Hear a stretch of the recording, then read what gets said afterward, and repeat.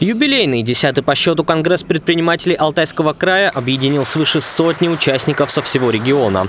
Программа недельного мероприятия подстроилась под современные проблемы малого и среднего бизнеса. Здесь и разговоры о последствиях от возможного введения прогрессивного налогообложения, разбора подводных камней семейного дела и госзакупок, которые сейчас набирают популярность у ИПшников.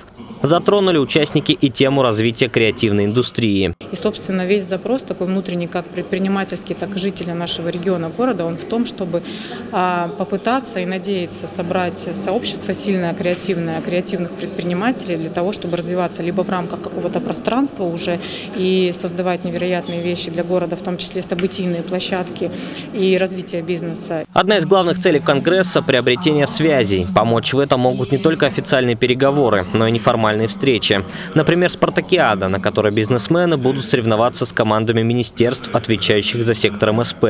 Еще один абсолютно новый формат взаимодействия – «Ночь предпринимателя» с возможностью выиграть грант. Предприниматели разделились на команды, э, решали бизнесовые кейсы, предлагали свои решения, э, как э, можно вести переговоры деловые, как, какие варианты финансирования могут быть для бизнеса.